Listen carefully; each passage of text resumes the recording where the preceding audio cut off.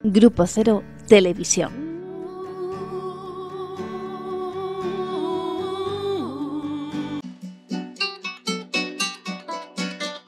No estamos exactamente en ningún sitio. Somos esos arcángeles negros que solo aparecen para enfrentarse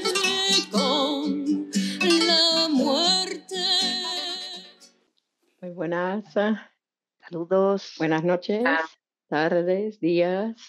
Aquí estamos. Poesía más poesía, un programa de la televisión española Grupo Cero. Estamos en el programa 265 y si tenéis el antojo de ir visitando los números anteriores, están todos disponibles en YouTube y en nuestra página poesía-poesía.com. Seguimos con la presentación de un nuevo poeta.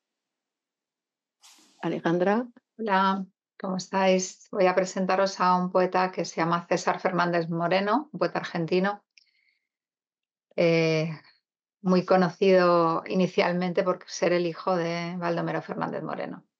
Y he empezado la presentación con un fragmento de 70 balcones sin ninguna flor, porque luego el poeta va a hacer varias alusiones a este texto de, de su padre. Y el texto, el, fragmento que he tomado del poema dice así: 70 balcones hay en esta casa, 70 balcones sin ninguna flor. A sus habitantes, Señor, ¿qué les pasa? ¿Odian el perfume? ¿Odian el color?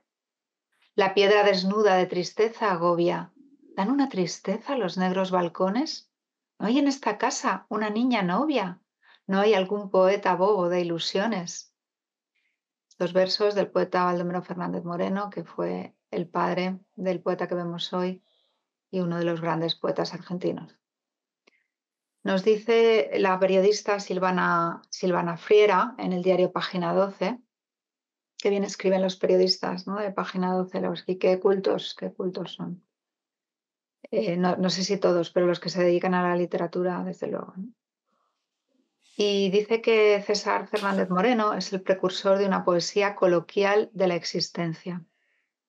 El poeta existencial, dice, es un deslenguado, tomando un, adjetivo que utiliza él en su poema Palabras, que practica el uso irónico de un lenguaje representativo del habla argentina, un lenguaje conversacional. Introduce en la poesía un lenguaje que en ese momento no era considerado lírico, que era el lenguaje de las conversaciones.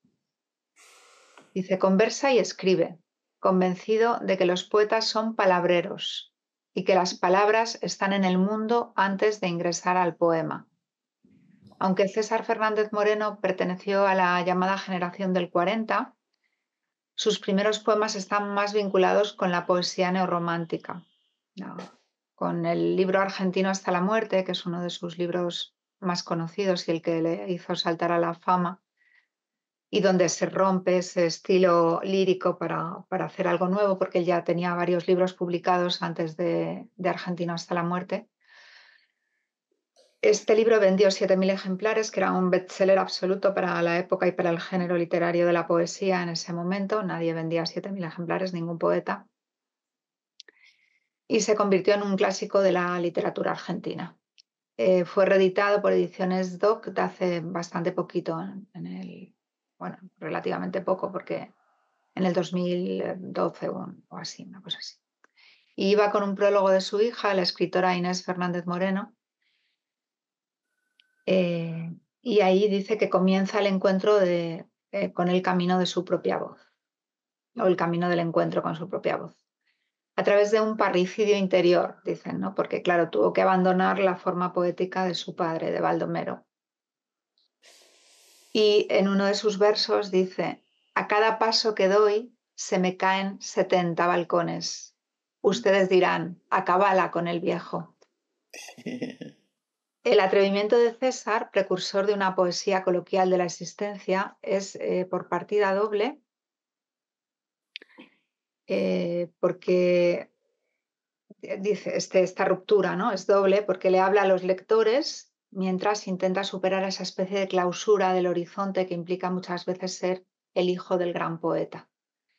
En el poema homónimo al libro, que se llama Argentina hasta la muerte, vamos a leerlo después, es un poema muy largo, los poemas tienen muchos poemas muy, muy extensos que vamos a dividir en fragmentos cuando los leamos. Eh, en ese poema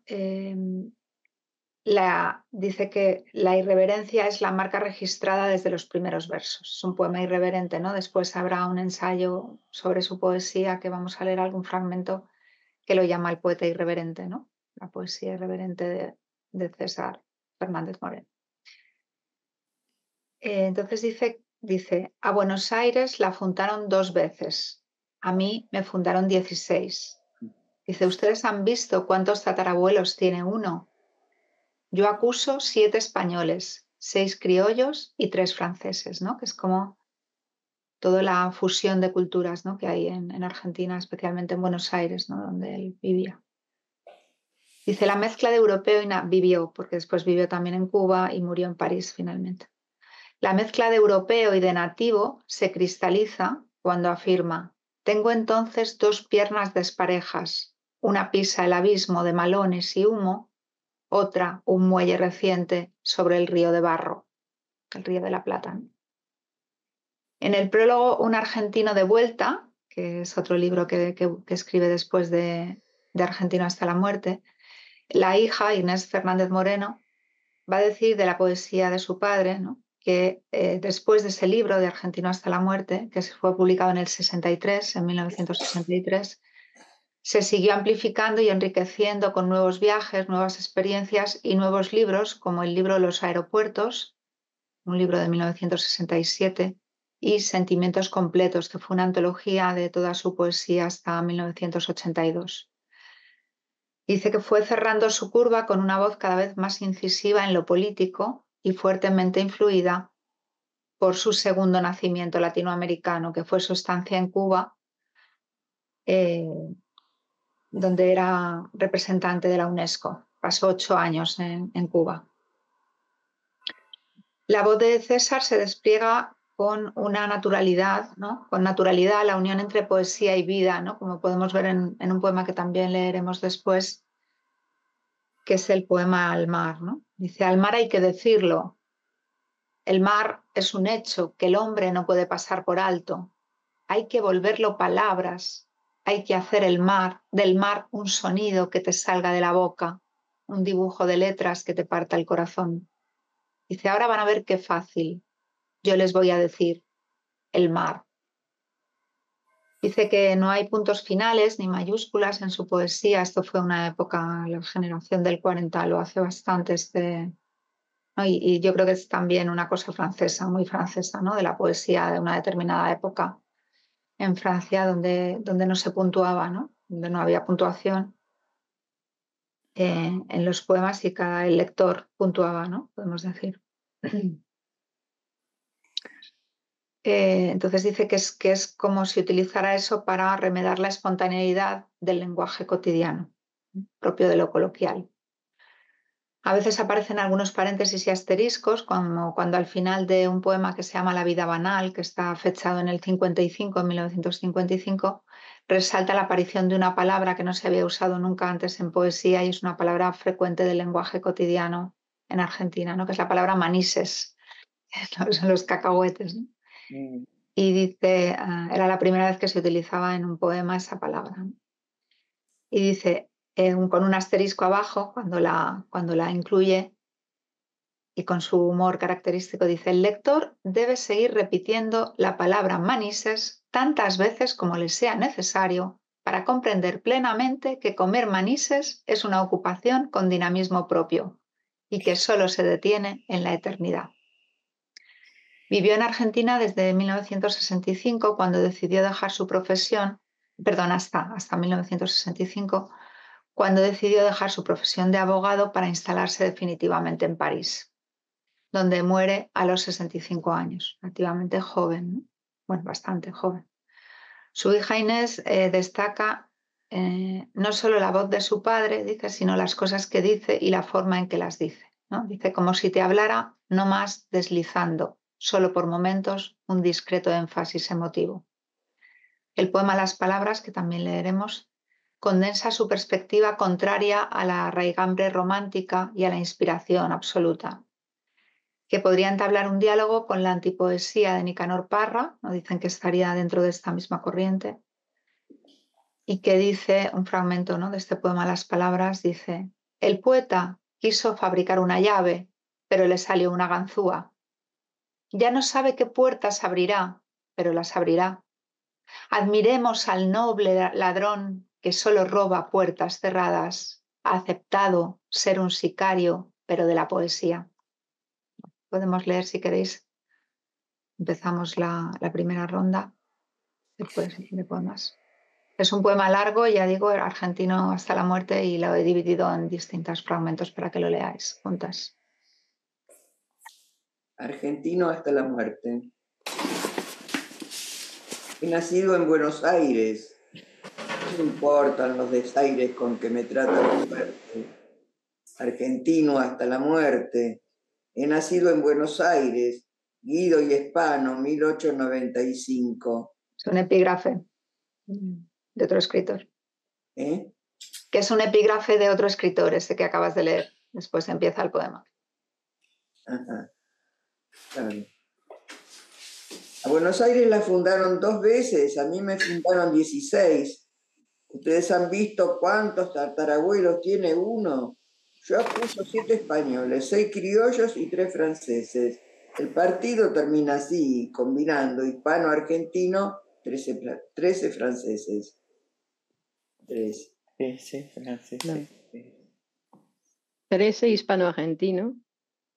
Ah, combinado, combinado, hispano Combinado el, el, grupo como en el fútbol, ¿no? Franceses tres, sí, como un partido de fútbol, ¿no? Claro.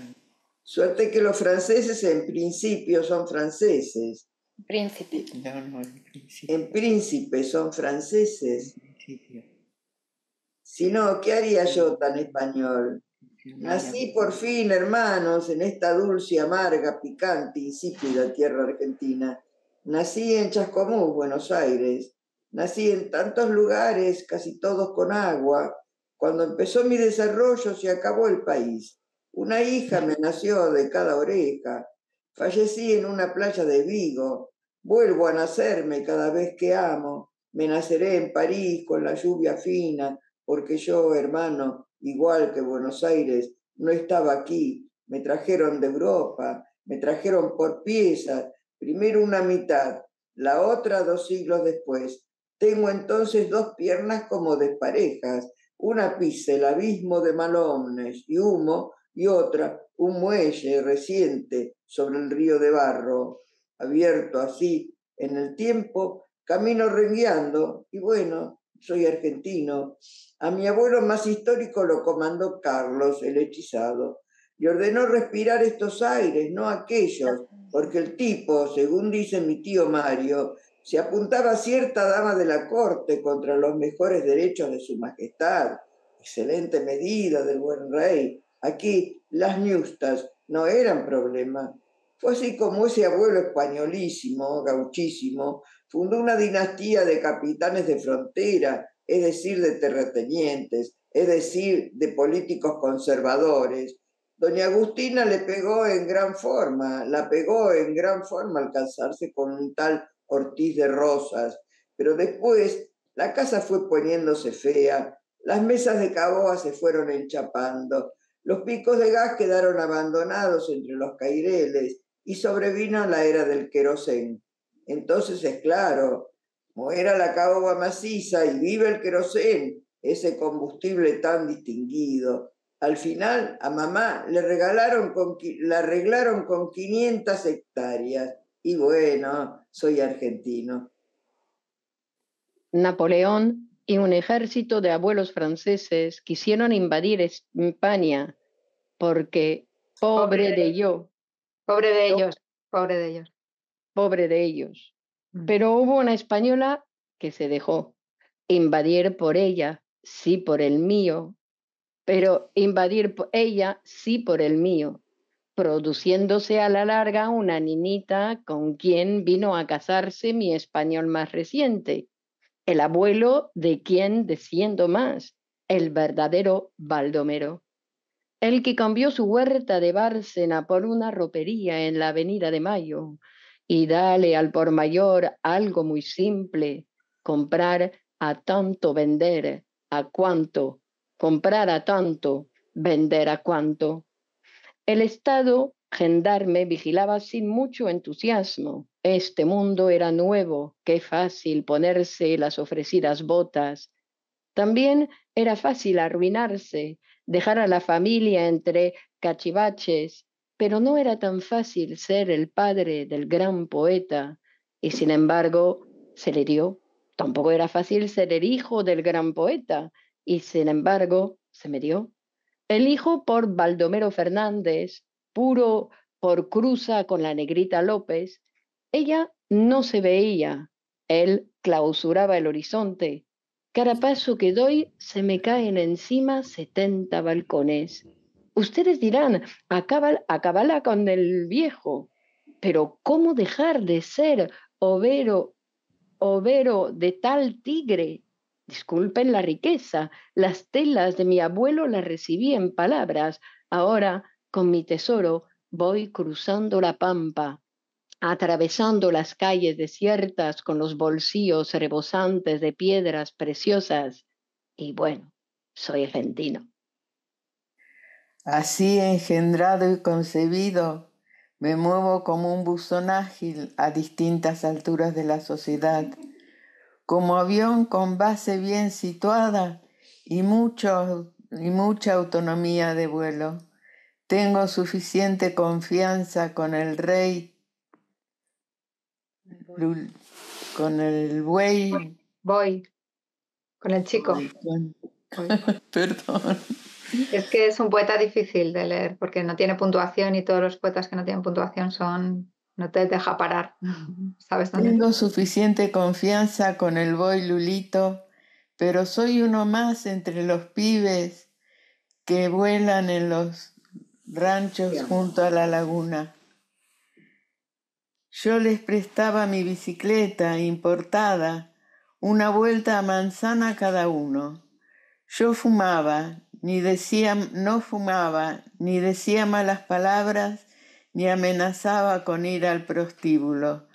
Tampoco iba al catecismo como ellos. Yo creía que el Padre Nuestro no era más que un tango. Pero todos barajábamos los mismos cubitos de mármol sobre el dorso de la misma mano. Pero todos mordíamos los mismos damascos sobre los mismos techos de zinc. Todos éramos iguales ante la ley bajo el farol de la esquina. Ese provinciano mediador entre el cielo de oro y la calle de tierra, oscilante a la altura de las hojas más claritas de los plátanos, rodeado por un halo de insectos predispuestos a la muerte rápida. Todos éramos iguales, iluminados así desde arriba, arrastrando las zapatillas en el colchón de polvo del verano, así soy de todas unas esas maneras, guerrero campesino, comerciante, poeta, perhaps español, francés, indio casi seguro, rico, pobre, de todas las clases y de ninguna. Y bueno, soy argentino. Ma, ¿de qué argentino me estás hablando? ¿Qué clase no se escucha, por favor. Está apagada, no está, sí. Ma, ¿de qué argentino me estás hablando? ¿Qué clase de argentino sos vos que no sos italiano? Para ser bien argentino tenés que ser semita. Momentito, momentito, que yo soy del Morero que yo soy del Moreno. Sí, yo simulé educarme en ese colegio nacional. Una, dos y tres, el Moreno otra vez. Allí aprendí el epur de Galileo y la pizza de Tuñín. No es cierto, general y Robiglio. Allí me amontoné con esos otros margentinos de perfil asirio o bereber no es cierto Grossman Paley. y todo era lo mismo, todos gritábamos cuando pasaba cualquier mujer. No es cierto, Robiglioman, Grosmiceli. A todos nos deleitaban la banana split y las memorias de la princesa rusa. Todos pusimos un poco de fuerza en aquella piña panamericana de Luis Ángel Firpo, pero todos malogramos nuestra chance frente al malvado Billy Petrole. Todos nos quemamos con Carlitos Gardel, pero todos resucitamos con Juan Manuel Fangio, cinco veces campeón mundial el más grande de los argentinos si todas las actividades fueran lo mismo. Pero nuestra única religión verdadera era el fútbol. Todos rezábamos de memoria aquel rosario de once cuentas que comenzaba Bosio, Vidoglio y Paternoster, y así con unción hasta acabar con el punzante win izquierdo, y todavía nos disolvemos todos en las tribunas. Hoy que el progreso cambió los tablones de madera por el cemento seguro y seguido, donde la multitud que viene tempranito para encontrar sitio entre sí misma no tiene más remedio que orinar contra sí misma. Pero el asunto ya no cae abajo, sino que desciende armoniosamente, grada por grada, y uno ya no se puede sentar. Qué macana. Y bueno, soy argentino. También conozco a fondo los rulemanes de la burocracia. Yo manejaba una fila lápices hasta una máquina de calcular, fíjense. Un ascenso para nosotros. Era tan emocionante como el galope final de un western. También soy abogado. Es la manera más intensa de ser argentino. Demandaos los unos a los otros. Dos o tres argentinos no son abogados. Me refiero a los escribanos. Pero nadie está nunca en su despacho. Nunca está porque nunca es. ¿Cómo ser argentino sin una secretaria? Por favor, ¿dónde están? ¿Dónde son los argentinos? El médico está haciendo política, el empleado está haciendo tiempo, el abogado está haciendo versitos, ¿no lo ven? En rigor, nadie tiene profesión. Hay tan pocos antecedentes. Es facilísimo para parecer hábil. Se puede hacer cualquier cosa con la zurda. Y de pronto alguno se da cuenta. Rectifico. Procede a darse cuenta. El idioma argentino dice las cosas, pero largas. Y entonces las murallas se vuelven tabiques de madera terciada. Al tipo no le queda de dónde agarrarse salvo de su propia corbata. Te avivaste gallo, ciego, pero no tenés no lenguaje.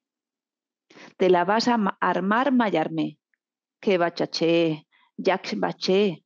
What do you think, cocholito? ¿Qué sería de mí sin la máquina de escribir? Ella me expresa también, sobre todo cuando se equivoca. Estoy, cada, estoy candazo agotado, diré más exhausto. Ay de mí, cómo se pronuncian algunos actores de cine. Vos, usted, tú, ta, te, ti, corazón, corazón. ¿Qué vas a hacerle? Hacelle, bla, bla, bla, bla, bla. Si no sabes ni siquiera, ¿sabes quién sos? ¿Eres? Batime, Checker, Singi. Orteguita, pásame el dato. Eh, bien, je suis argentín. Observaréis, marquéis, que hablo bastante de mis tatarabuelos, de mi educación, de mi contorno social, de mis angustiosos problemas lingüísticos, pero nada digo de mis virtudes y mis vicios, pero ñato, please. Lo ético lleva de cajón a lo político. No les voy a dar el gusto a los rayados ni a los orejanos argentinos, señor. Nosotros somos así, vivimos esencialmente. En nuestro suelo se acomodan 20 millones de habitantes. Preferimos las agachadas a los levantamientos. Eso lo decís por mí, a que no sos capaz de repetirlo. Necesitamos que nos insulten dos veces. Entonces casi nos agarramos a cachetazos. Necesitamos un amigo que nos separe, pero decirle que donde lo encuentre le voy a romper el alma. Necesitamos que el azar se pliegue a nuestra venganza. Queremos encontrar, no buscar. Que busquen los foráneos, petróleo o lo que sea, pero no la sabemos rebuscar. Lo importante es postergar la responsabilidad. Muchachos, me estoy trabajando una mina, fenómeno. Ojalá no venga la cita. Tengo una pila de trabajo atrasado. Ojalá decreten feriado el viernes. Vos no te preocupes, déjalo todo en mis manos. Mañana a las 7 y 10 te tengo listo el asunto sin falta. Y después pasamos de la extrema precisión a la extrema vaguedad. Vos esperate, ya veremos, hay tiempo. Y cuando ya no hay tiempo, cuando el tiempo nos abandona, se sacude de nosotros harto ya de ser prometido en vano. Entonces venga, la gran viaba de trabajo, o mejor la rica improvisación, la socarrona payada de una de esas, la pegamos, ¿por qué no?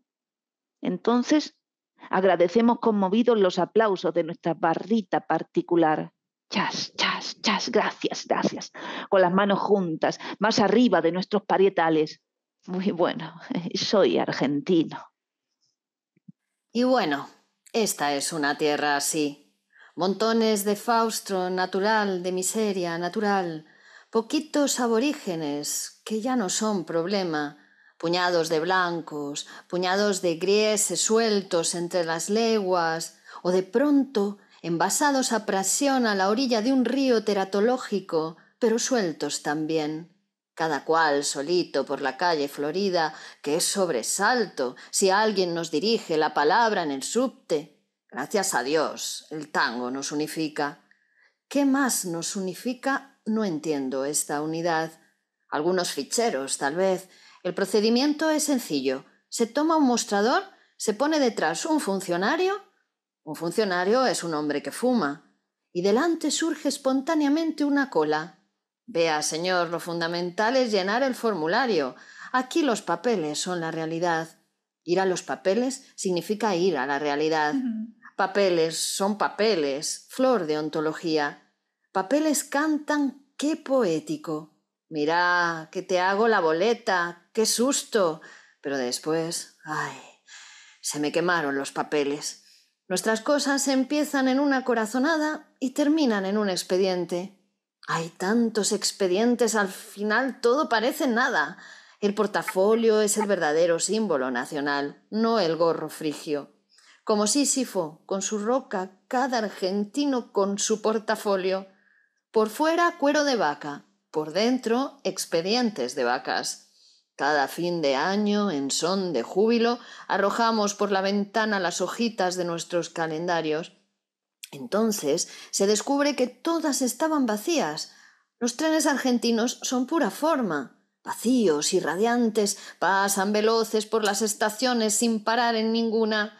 Los edificios públicos tienen enormes pórticos, pero la gente debe entrar por la gatera de la ordenanza. Enormes escalinatas, rampas rampantes, pero se sube por el pastito. Aquí las vacunas nunca prenden, los timbres de alarma solo suenan cuando se descomponen. Entonces, de todos modos, nadie se alarma. La policía solo descubre a los terroristas cuando se les caen las bombas. Los teléfonos se cortan solos. Ni las malas noticias pueden recibirse de un tirón. Cuando alguien lleva un libro en la mano, es su autor. Cuando no es una caja de ravioles y de pronto salta Macedonio Fernández zapateando un malombo con Pascualito Pérez, pero no me hable de la literatura argentina ni del atletismo nacional. No crean en lo general en el general. Crean en lo particular en el particular.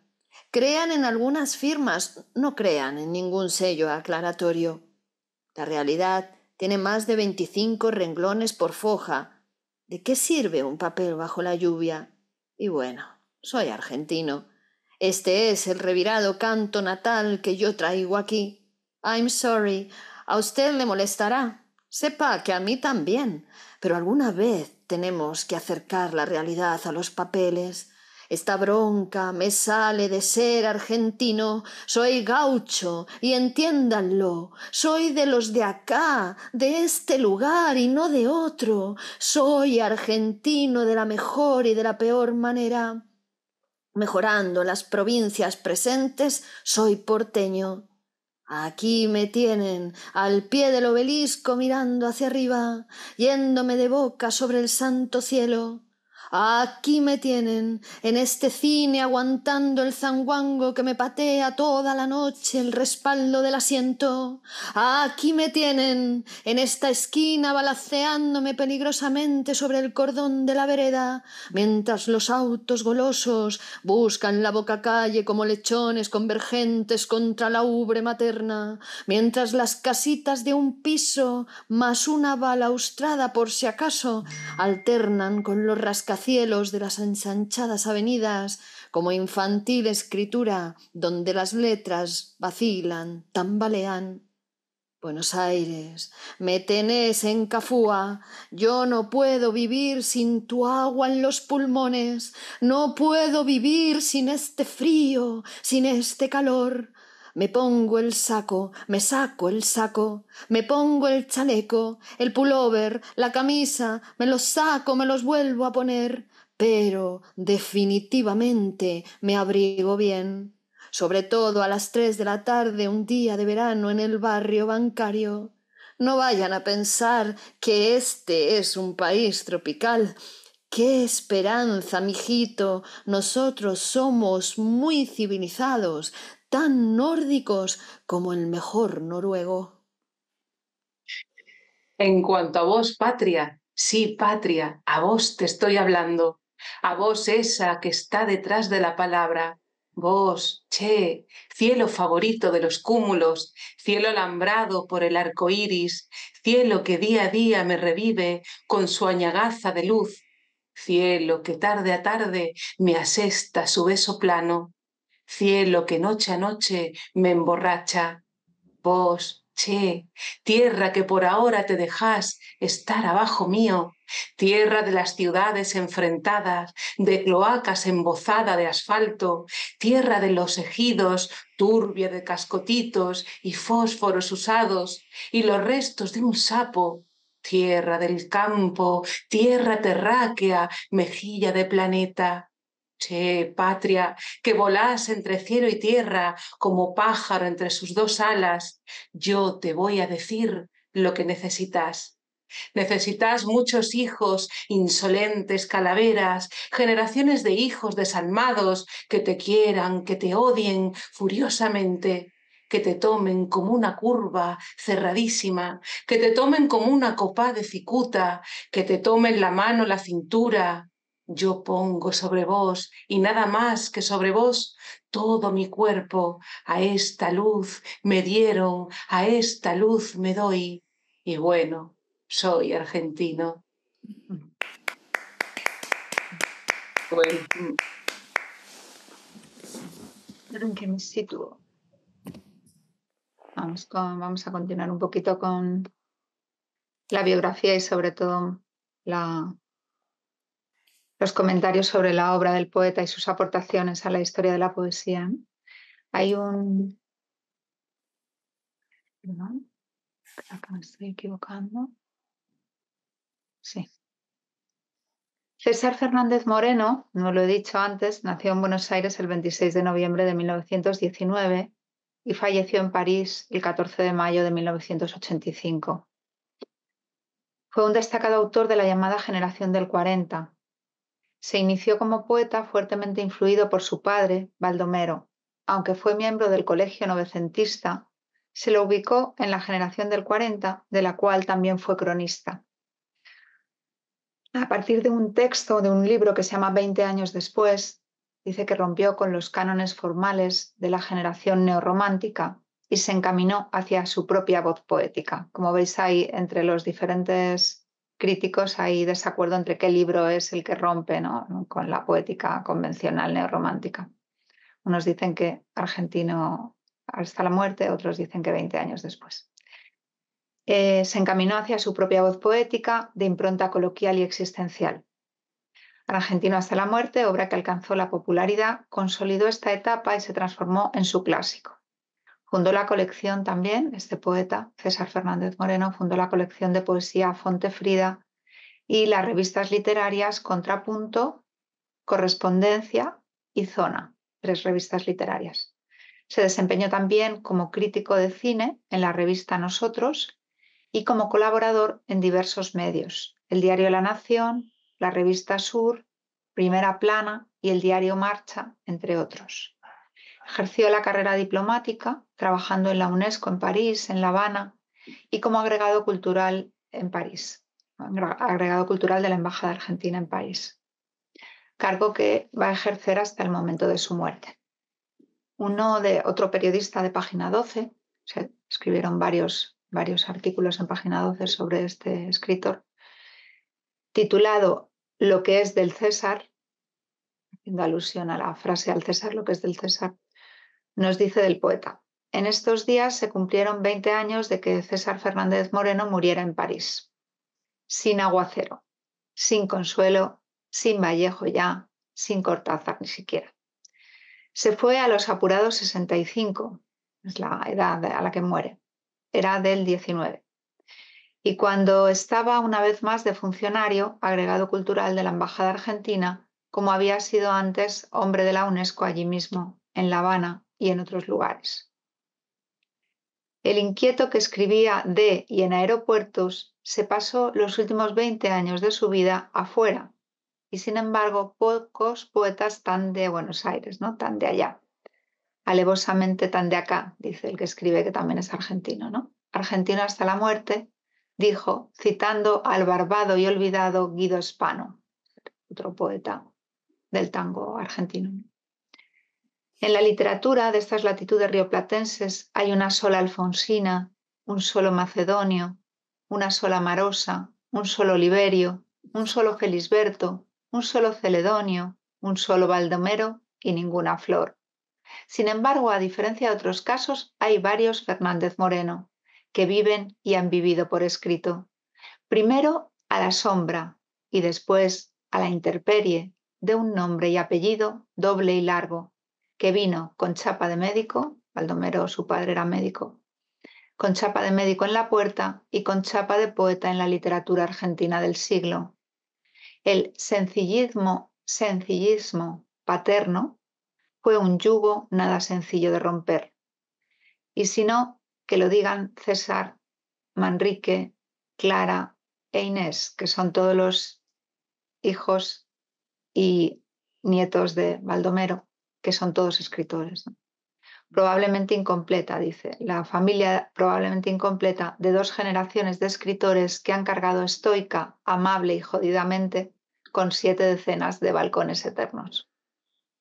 El primero que se hizo cargo del viejo fue César, el mayor, no le quedaba otra. Como un artesano que comparte primero y luego hereda el taller familiar, fue poeta durante y después de ser y ejercer tanto de hijo como de abogado. Para procesar el amable peso lapidario de Baldomero, el pequeño César se refugió en la endeble estructura generacional del 40. Una promoción que se salva por lo que luego harían sus excepciones, entre ellas Enrique Molina, muy conocido poeta argentino, también Wilcock, Girri y él mismo. César Fernández Moreno. Después, en una época en la que los pibes, Murena, Gitrick, Sebrelli y los Viñas ejercían el parricidio explícito con Lugones, Martínez Estrada y otros ídolos, él encaró un literal parricidio interior que suponía el entierro con homenaje, que uno de sus ensayos, de sus críticas literarias y de sus ensayos literarios era sobre la figura de su padre, sobre Valdemiro Fernández Moreno. Y el libro Introducción a Fernández Moreno es su primer ensayo largo y el despegue con propia voz a partir de Argentino hasta la muerte en 1954. Caído con la contundencia de un ladrillo en el formal charco de la lírica nacional. Dicen del libro, ¿no? De Argentino hasta la muerte. Este libro y este poema, junto con al público de Leónidas Lamborghini, que es otro poema, y Violín y otras cuestiones de Hellman, que es otro poema también de él, que son posteriores, hacen que la poesía argentina en sus diversos registros se largue a conversar y a contar cosas. Desde ahí, César Fernández Moreno comenzó un trabajo de tupida producción poética en un registro en el que no estuvo solo, sino bien y mejor acompañado.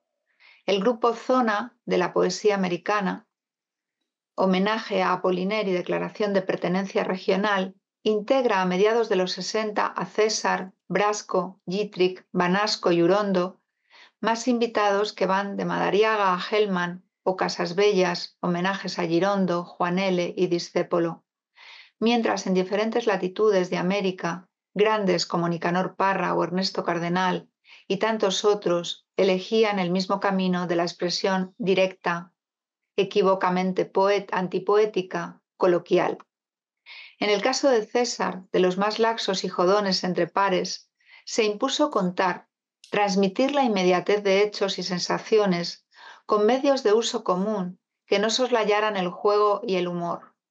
Lo que llamó, con perdón, poesía existencial, sin el mínimo asomo de solemnidad, mal de tantos y tontos, dice el periodista. Dice simultáneamente Fernández Moreno, el siempre joven, hizo un desprejuiciado y original ejercicio del ensayo desde la introducción a la poesía en FCE a la realidad y los papeles de Aguilar. Teorizó e hizo historia sin acartonamientos. Así leyó el desarrollo de la lírica criolla como la oposición de dos líneas, una culta y epigonal y otra popular más genuina, que reconoce su inicio en Bartolomé Hidalgo, un poeta que no se priva del chiste, como no iba a ser coloquial en su expresión poética si era peluquero, una muestra ejemplar de su estilo, de su manera de asumir la poesía. Su libro Sentimientos Completos, dice título Sin Mentir, la antología personal de 400 páginas editada por Ediciones de la Flor a principios de los 80. La última vez que juntó sus poemas fue esta. Luego después hay una antología que es de donde yo he sacado algunos poemas una antología póstuma que se publicó después ¿no? de la muerte del poeta. Em, dice, cuando hacia 1999 Jorge von der Breyer reunió en dos tomos la obra poética en edición tapa dura de perfil y recogió hasta lo último incluso los inéditos. Esa es la, la obra que tengo, que tengo yo. Ahí entre estos aparece un título ejemplar y sintomático que se llama Conversaciones con el Viejo, en el que dialogan poema a poema en páginas enfrentadas Baldomero y el hijo. Dice un verso de este libro. Qué lejos nos pusieron. Yo debería haber nacido contigo y no de ti. Había escrito César en La tierra se ha quedado negra y sola. Juntos en la historia grande de la poesía argentina, entreverados o contiguos en las antologías, el diálogo continúa. Cubrió la etapa poética de la generación del 40 como cronista y escritor. Como crítico, situó principalmente los núcleos generacionales de la poesía de vanguardia argentina, lo que se documenta en su obra La realidad y los papeles de 1967. Su primer libro, que fue Gallo Ciego, de 1940, contó con un famoso prólogo en verso de su padre, El romance de Valle Verde. También, o sea, otro, otro de los de los libros del Gallo Ciego es el primero, el romance del Valle Verde es el segundo. Y a esta época también corresponden La mano y el seno de 41, El alegre ciprés del 41 y La palma de la mano también del 41. Sin embargo, con la publicación del libro 20 años después, César Fernández Moreno dio un giro sustancial dirigido a un nuevo tipo de poesía, menos preocupada por el brillo formal y abierta a lo que aquellos años se conoció como poesía conversacional. Esta tendencia tuvo en el mismo Fernández Moreno, en el nicaragüense Ernesto Cardenal y en el uruguayo Mario Benedetti sus máximos exponentes. En el caso del autor argentino, alcanzó su cumbre expresiva en el año 1963 con la publicación de Argentino hasta la muerte. Y en 1982 con sentimientos completos que reunía el conjunto de su obra poética hasta la fecha. Podemos leer la segunda ronda de poemas ahora.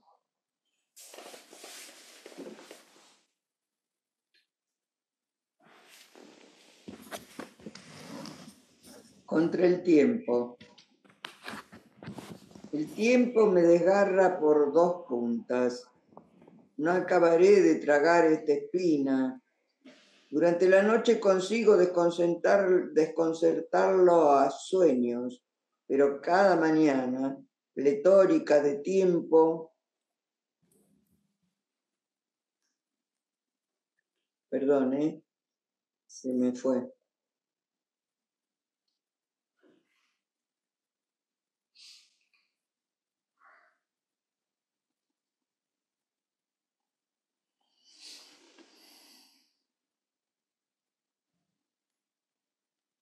¿A dónde? que siga otro porque se me perdió. Vale. Clemos, tú. Contra el tiempo. El tiempo me desgarra por sus dos puntas. No acabaré de tragar esta espina. Durante la noche consigo desconcertarlo a sueños, pero cada mañana, pletórica de tiempo, viene y sorprende a mi cuerpo, como un intruso entre mis propias sábanas, Basta tiempo, no quiero seguir. ¿Qué me has visto para acariciarme así? Podrías prescindir de mi fatiga, deshuesarme de vos, dejarme vivir como un ángulo y volver a tu manantial infinito. De todas maneras, allá me tendrás. Vale, Norma, ¿quieres leer tú el mar, Al mar hay que decirlo. Al mar hay que decirlo. El mar es un hecho que el hombre no puede pasar por alto. Hay que volverlo palabras, hay que hacer del mar un sonido que te salga de la boca, un dibujo de letras que te parta el corazón. Allá van a ver qué fácil yo les voy a decir, el mar.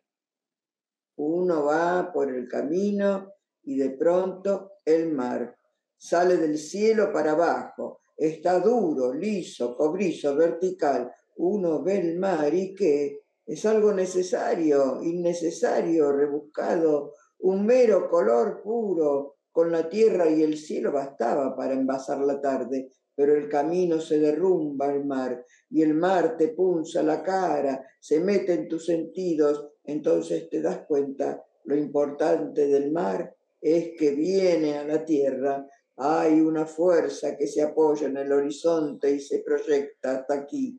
Viene y se rompe en la roca. La vertical gira como hélice. Lo liso se eriza, lo cobrizo se iriza, el mar se particulariza, se desparrama, se deja chupar por la playa, lo duro se fragmenta en un millón de besitos, aquel mar general resulta ser una cita con vos en la costa, un hecho neto de tu biografía, este momento de tu respiración. Entonces, no es el mar. Yo no decía el mar en tanto rompe sobre la orilla, no decía tu retina ni tu epidermis, ¿Qué importa el mar trepando tu pie? Yo preguntaba por el mar, por el mar, a ver si se le puede sacar el parecido. Parece la pampa, pero con alambrados de espuma, una palma de mano que sostiene las nubes, una almohada para la cabeza de Dios, el ojo de buey por donde mira Dios desde su camarote,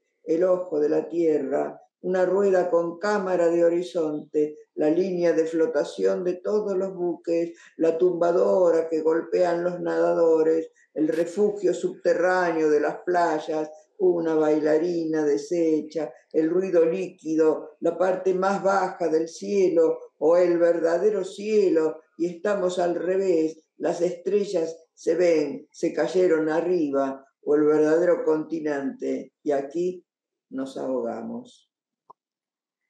Si el mar fuera todo eso, sería lo que no es.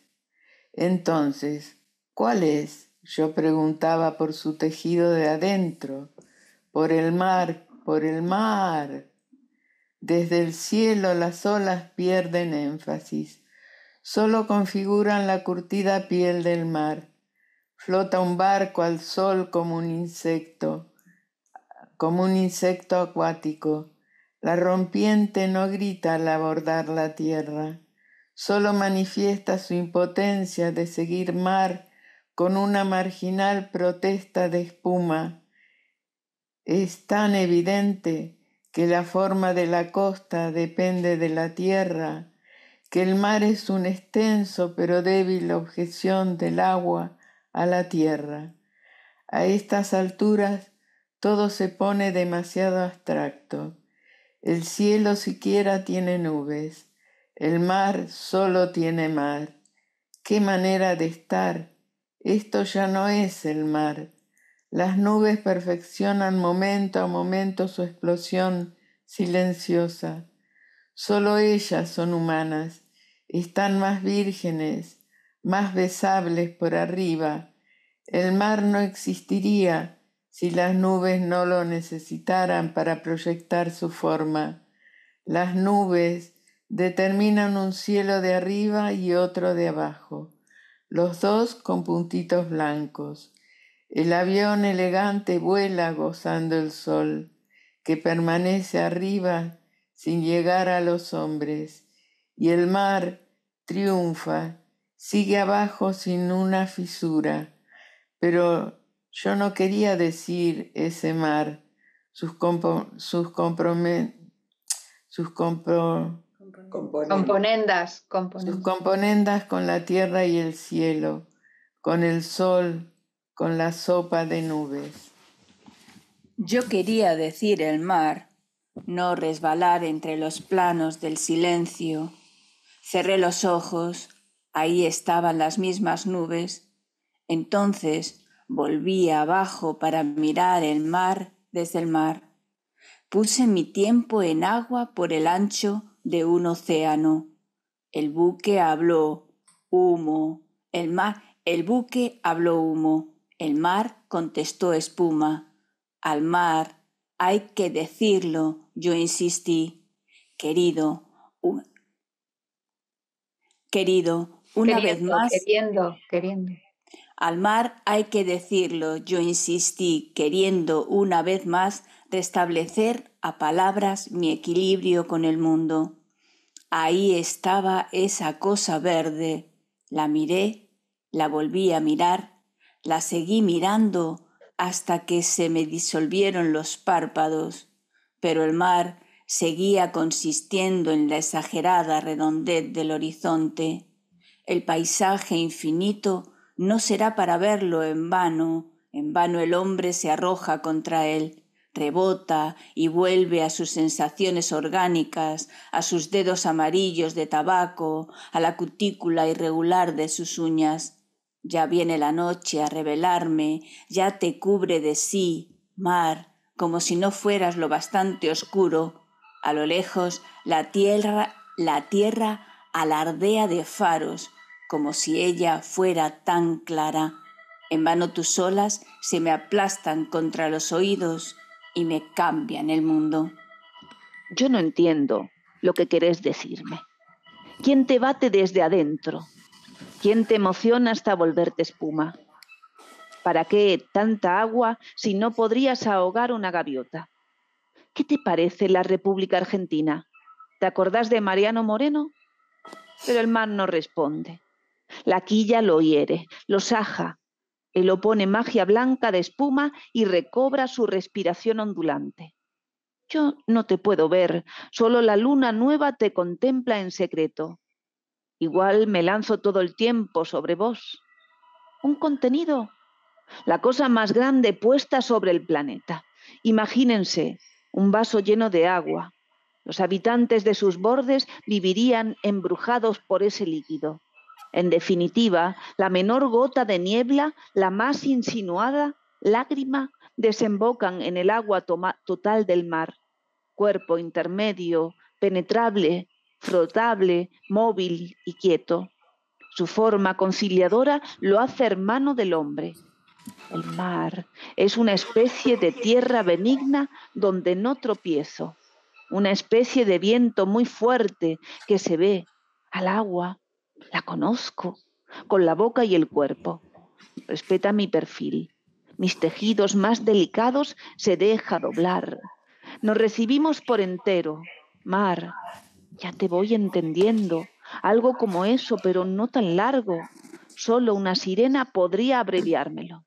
Llorando entrecortadamente. Ah, si yo fuera pez, ameba siquiera, más esperanzado. Si me ahogara tal vez. El texto continuaba. En la próxima estrofa explicaba el mar completo. Yo la escribí, crispado sobre la proa, pero esta hoja se me volvió, se me voló al mar. 1955 del libro Espacio Escrito. Débil mujer. Finally, I climbed into bed with the wife, and to my utter amazement, she began to cuddle up to me, and without saying a word, we locked horns, and we stayed that way until dawn. Henry Miller de Trópico de Capricornio.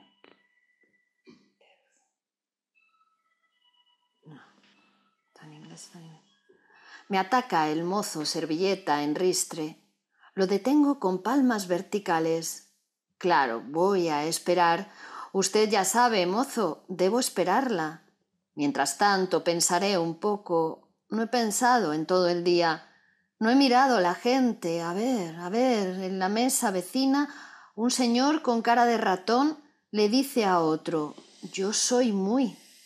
Después viene un adjetivo sin duda elogioso, pero no se oye. Débil mujer, maestra en el arte de tardar, otra vez débil con el tiempo, ¿en qué lo ocuparías si no en llegar tarde? De tanto demorar, podrías estar muerta. Débil mujer, débil, débil, tan débil que se deshace mes a mes en espontánea sangre.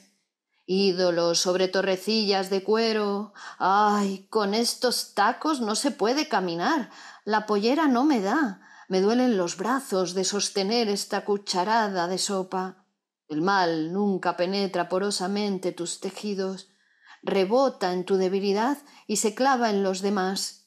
Débil mujer, cada vez virgen, nunca olvidaré tu pecho magníficamente adornado. Querida mía, qué herida mía.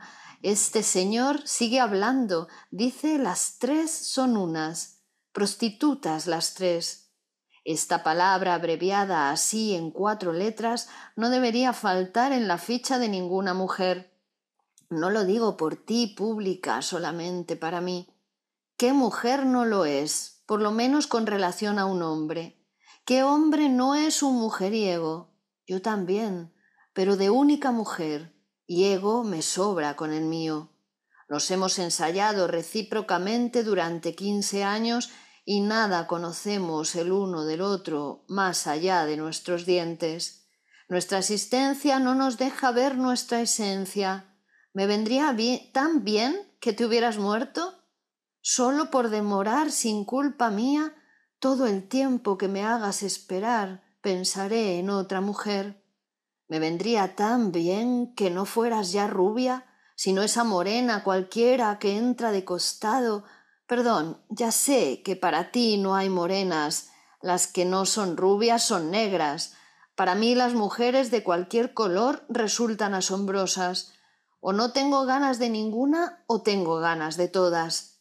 A las honestas las trato como prostitutas y a las prostitutas no sé cómo tratarlas.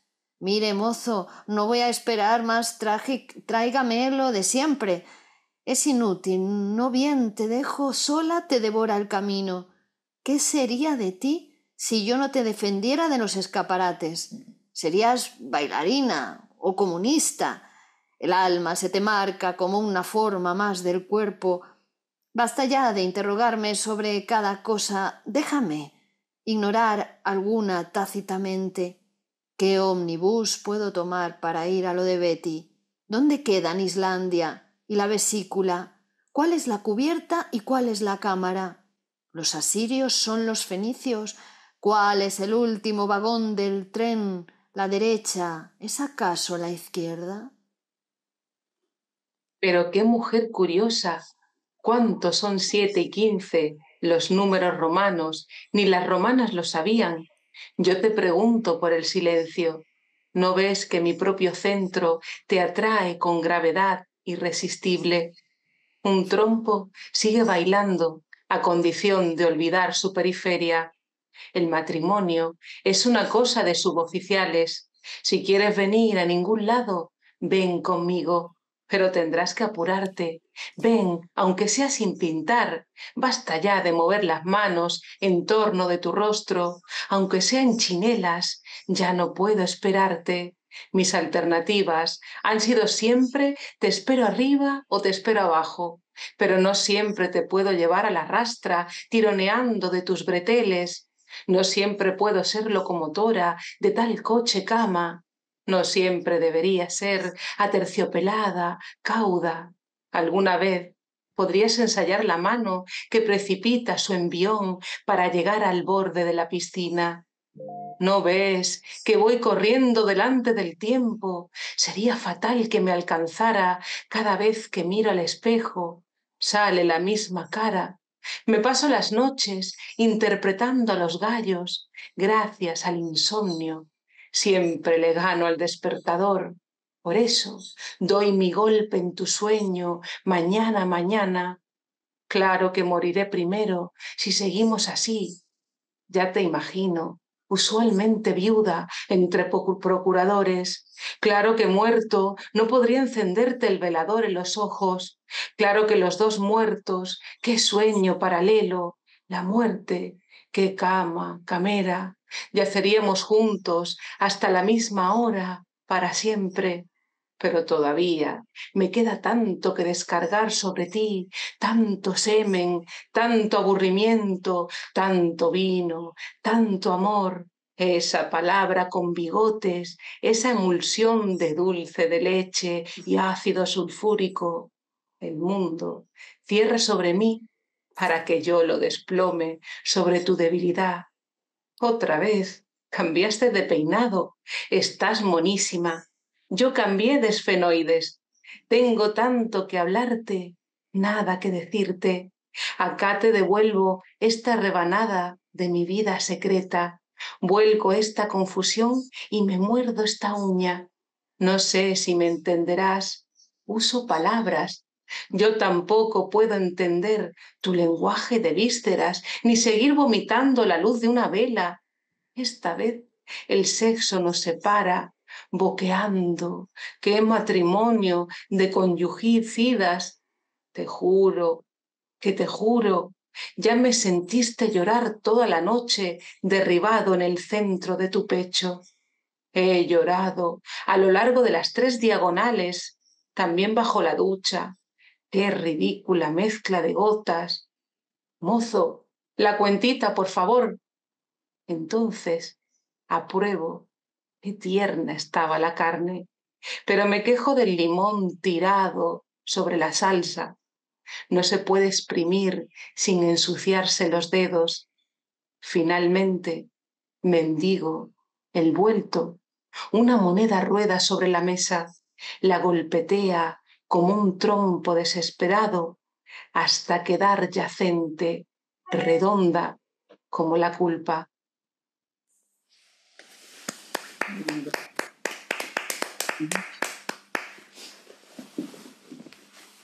Ya seguimos con el poeta, em, con la biografía. En la revista Anales de la Literatura Hispanoamericana, eh, Mariela Blanco publica un ensayo titulado César Fernández Moreno, una mirada irreverente sobre lo lírico. En este texto nos dice, Consideramos que uno de los aspectos de la escritura de César Fernández Moreno, que la convierten en un hito insoslayable dentro de la literatura argentina, es la concepción de lo poético en ella desplegada. Argentino hasta la muerte, poemario que lo lleva a la fama y que se destaca por el, inusitado éxito de público en relación con lo que es esperable para el género, se publica en 1963, como hemos dicho. Sin embargo, ya en los volúmenes anteriores puede advertirse el tono humorístico y la mirada desacralizante que caracterizan toda su obra.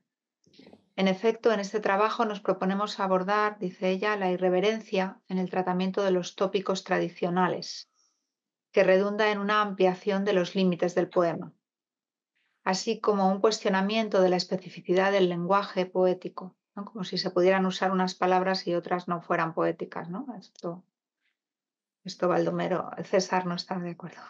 Sabía que me iba a confundir en algún momento el nombre del hijo con el del padre, también es como En efecto, en este trabajo dice, ¿no? Eh, bueno, ese cuestionamiento de la especificidad del lenguaje. Interesa destacar que muchas de estas operatorias serán retomadas por la vertiente social de los poetas de los 60, ¿no? que no es exclusividad de la obra de, de César. Fernández Moreno postula tres exigencias que para él singularizan la poesía tradicional y contra las que se va a rebelar. Eh, la poesía tradicional, que dice él, está representada por todos los movimientos líricos de Occidente hasta el filo del siglo XX y que perdurarán por momentos y sectores hasta nuestros días. ¿no? Ese estilo está también en la poesía actual. Se trata de estos tres, ¿no? tres cuestiones, se tratan de la exigencia estética, la exigencia lingüística y la obediencia a las leyes del ritmo y de la rima. Las tres cosas son a las que él se va a revelar. Según la exigencia estética, el objetivo de la poesía tendría que ser la belleza, es decir, agradar, lo cual condiciona el lenguaje, su material, que se encuentra de este modo restringido dentro de los límites de lo convencionalmente considerado poético, a través de ese proceso de tradición selectiva que eh, había descrito ya Raymond Williams. Así nos enfrentamos a un repertorio de tópicos, así como a una serie de recursos retóricos, metáforas, lexicalizadas, giros, entre otros, que conforman un caudal que establece contornos definidos para el poema. Si al respecto es necesario detenernos en una sección de uno de sus libros de Argentina hasta la muerte que se llama Beatrices, eh, este, este, fragmento del libro Argentina hasta la muerte fue publicado, fue publicado aislado del resto del libro y traducido a los idiomas eh, inglés, francés, inglés y francés, además de publicado en castellano también. Está integrada por cinco poemas encabezados por un, epígrafe de Paul Eluard, que es como eh, que critica esa, esa, relación con lo femenino en la poesía. ¿no? Con el amor. Eh, dice en, su eh, dice un, verso ¿no? de, este, de este libro, de este fragmento del libro, mujeres venidas al mundo para ser lenguaje. ¿no? Dice que eso ya, esa frase ya lo saca de, de, la concepción de la mujer que se tenía hasta la época también como objeto de la literatura en vez de como sujeto ¿no? participante. Dice, ya nos permite atisbar el ataque a la retórica congelada del género, sin olvidar la remisión al modelo del estereotipo literario ideal por excelencia, es decir, la Beatriz de Dante. En este caso, la introducción del erotismo, la poesía de, de este poeta, a través de una exaltación de la carnalidad, tiene como objeto introducir, como objetivo introducir ese componente vital que se va a transformar en uno de los emblemas de su poética, lo cual se evidencia a partir del contraste entre las imágenes del amor de papel y el amor en el nivel sensorial. Retomando las limitaciones estas ¿no? que veníamos diciendo, eh, Fernández Moreno encuentra en la poesía lírica y que se propone subvertir en su práctica escrituraria, describe el vínculo entre la exigencia musical y la poesía tradicional como una hipóstasis, dice, ¿no? es algo necesario para hacer poesía que rimen. Al revisar los motivos históricos que condujeron a esta asociación, el poeta la cuestiona por considerarla una restricción para el lenguaje poético, ampliando de este modo el campo denotativo cubierto por el concepto de poesía. Dice, no resulta casual que estas reflexiones sean posteriores a la publicación del libro Sentimientos, poemario en el que ya advierte un abandono definitivo del apego a los formatos tradicionales que caracterizó su denominada primera etapa, en donde la crítica coincide en señalar la emergencia de una voz propia, despojada de los ecos del lenguaje y las formas estróficas legadas por la influencia omnipresente de su padre, Baldomero Fernández Moreno. Termino con una frase de César Fernández Moreno para, para introducir a la tercera ronda de poesía, de lectura de poemas, que dice, ¿Ustedes qué harían si vieran descender un plato volador, un platillo volante, ¿no? un ovni. Dice, correrían a contárselo a todos. Cualquier cosa que ve el poeta le parece un plato volador. Todas lo son. todo es contable ¿no? por la poesía. Adelante con la tercera ronda, muchas gracias. Descripción de tu pecho. Vuelvo naturalmente sobre esa delicada especialidad de tu ser, sobre ese empuje suave, ese avance blanco y suave que de oscuros extremos ásperamente suave se corona esa única parte de tu cuerpo que decida amorosamente viene hacia mí. Destaco otra vez el equilibrio entre su, entre su ímpetu y su inercia, lo convexo y lo cóncavo, sus distintas maneras de empezar, ese gracioso modo de ceder a su peso sin olvidar su forma. Si te acuestas boca arriba, qué difícil precisar sus límites, y si me abrazas de noche, tus pesos, tus pechos nacen del mío, no son esa caricia inaudita que me viene de afuera, sino invertidos pechos que nacen de mí como dulces surtidores, brotándome de dos puntos activos, abriéndose luego cálidamente y perdiéndose en la plenitud de tu cuerpo. Episodio a un paracaidista. No se te abrió la rosa plegadiza, no te salió la espuma, no te nació las alas, no te agarró Dios. Lo que debió ser un gracioso descenso hasta posarte danzando en el césped, fue una súbita pasión por el centro de la tierra, una furiosa perpendicular al horizonte. Se te perforó el cielo, se te cerró la tierra, un paso se agrandó hasta ocupar todo, y solo te quedaron los movimientos del planeta. Marche un poema al mostrador. Viejo, si me vieras ahora, estoy parado contra el mostrador. Mis pantorrillas tensas me soportan un rato cada una. Vos te hubieras sentado en una mesa, tus hombros los hubieras soportado un respaldo, hubieras perdido tu mirada en la vereda de enfrente. Qué fabulosa lejanía. Yo he venido a quedar un poco más arriba, veo un poco más cerca, alcanzo a leer las letras de la vidriera al revés, pero es lo mismo, la misma breve lucha con el paquetito de azúcar, el mismo sabor aceitoso del café suburbano. Cambio propina por comentarios sobre la lluvia inminente.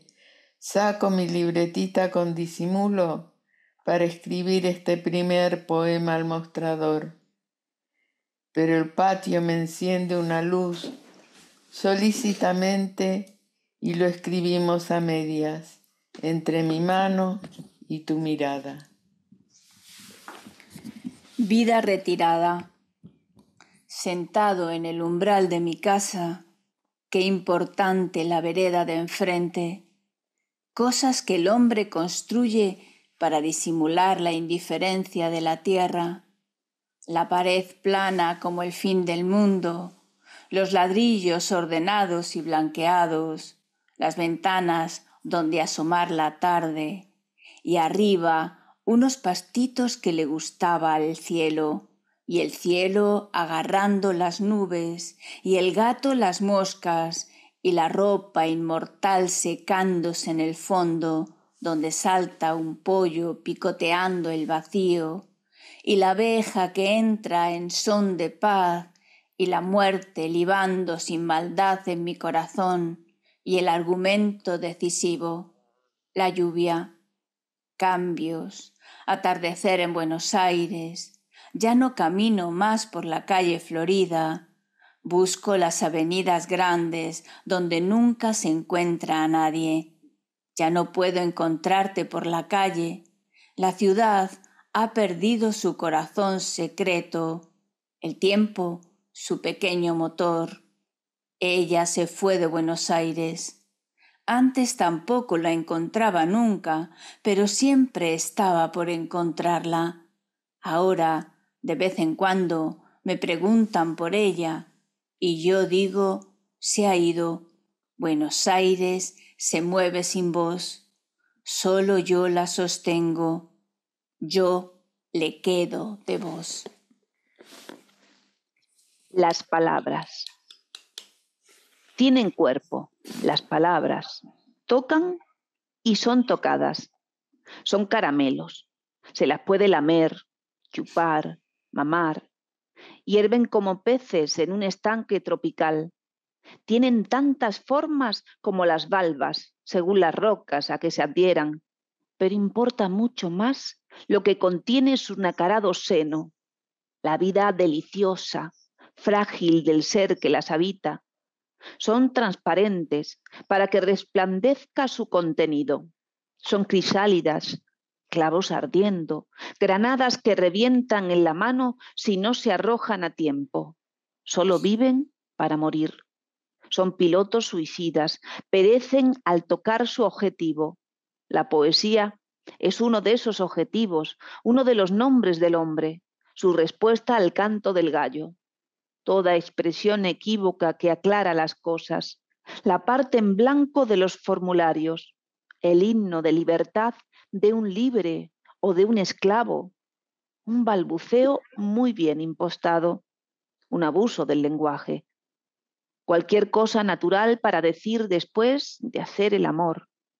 Un lenguaje siempre tan intenso como una despedida. El halo que circunda ese lenguaje. Cuando se llega al límite, solo hay un modo de hablar, la metáfora decir que una cosa es otra. En el límite, todas las cosas son otras, todo es todo. La verdad radica en soplos. La poesía la dice, no hay otra ciencia exacta. La dice en cierto modo con ciertas palabras. Confunde esas palabras, las calienta para impedir que la vida se entumezca en ellas hace convergir la vida en las palabras, bosques vecinos, uniendo sus incendios. El poeta nace, se hace, se deshace, se rehace, renace. Es el inspector más general, un contemplativo sin contemplaciones.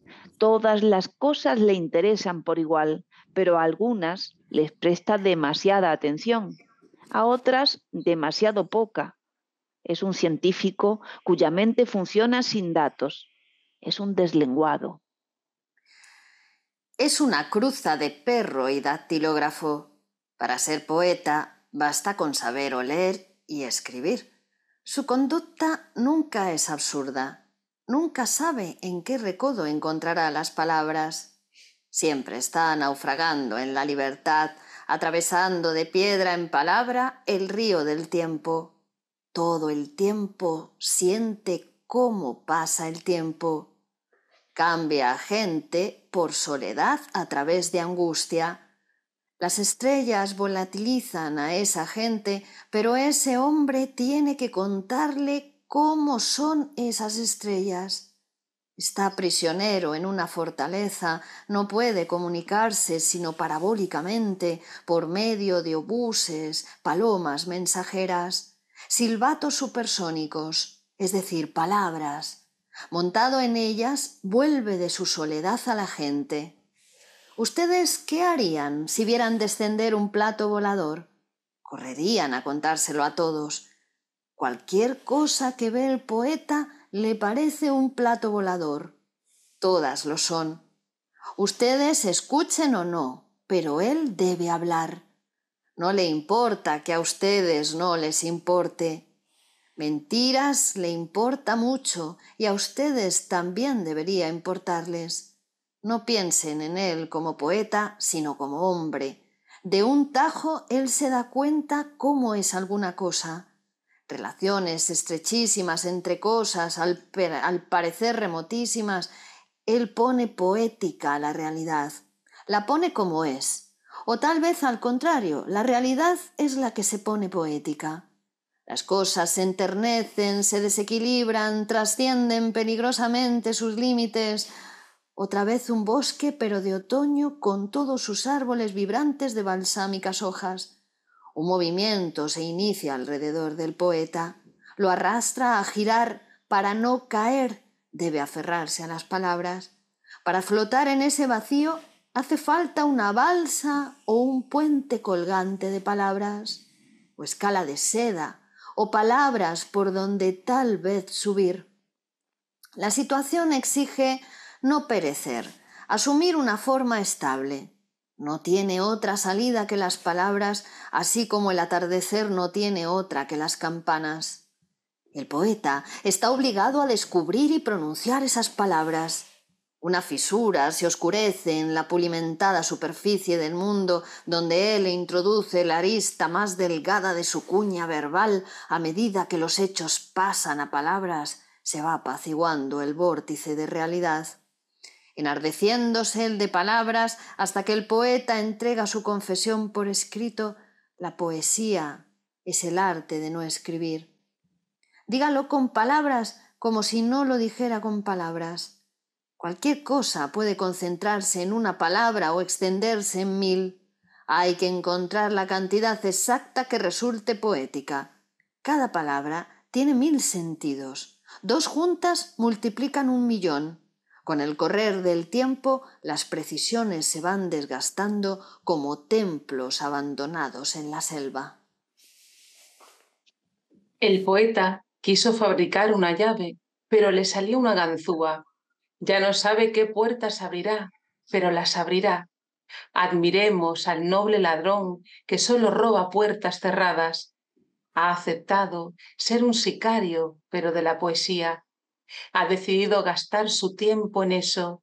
Está dispuesto a consumir un año en una, a escribir con su sangre letreros luminosos, a escribir con bordes de monedas, con lapiceras explosivas, con guantes con la zurda, aunque los dedos se le agarroten o se le derritan a la madrugada, levantándose o acostándose con el dedo, con el hartazgo, él estaba escribiendo, se quedó ciego y siguió escribiendo. El poema es el arma perfecta, complejo, aceitado, compacto. Todo poeta vive como un pistolero, con el corazón en la boca. Las palabras le ordenan el mundo, pero le desordenan la vida. Él no compra un espejo para adornar el dormitorio de su amante compra la palabra espejo para adornar el verso donde su amante lo abandona y se queda solo frente a ese espejo. Las balas rebotan en la blindada imagen, el arma funciona contra su portador, pero él no quiere soltarla, se agarra del mundo por donde puede, su hacer es lo único que puede oponer al tiempo, el tiempo procura absorberme, integrarme, así desintegrarme a mí. Imposible evitar la lucha entre él y yo. Yo lo voy a llenar de mí mismo, de cosas en que me transformo. Escribir como amar son órganos por donde me vuelco, me lanzo a ser en el tiempo bajo una forma nueva, hasta que me vacíe del todo. Ya lo sé, pero el tiempo no puede quedar así. Hay que ponerlo vero de palabras. Muy bien. Muchas gracias, me encanta. Muy, bien, claro, muy seductor, muy, seductor. Fantástico. Qué bien posicionado, ¿eh? Qué bien, muy bien. Descubrimiento. Para las próximas, las, las Generation para la próxima. Genial. Gracias. Muy bien. Fabuloso. Muchas gracias. Seguimos el próximo día. Por supuesto. Dejen sus comentarios, dejen sus comentarios en el vídeo, en la revista, que eh, así nos comunicamos. Que habéis llegado hasta el final del programa. Premio, premio. Eso, eso. Hasta la próxima semana. Chao, chao. chao, estamos exactamente en ningún sitio. Somos esos arcángeles negros.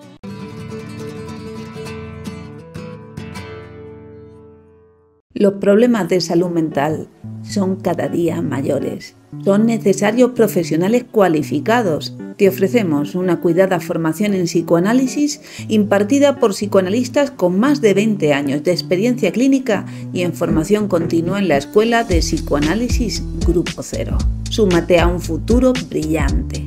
Contacta con nosotros y reserva ya tu plaza en nuestro seminario.